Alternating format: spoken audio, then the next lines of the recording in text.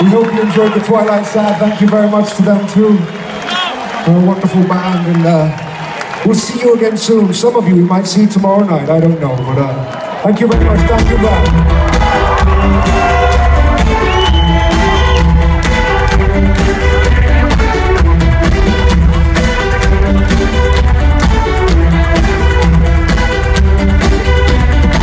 Make our state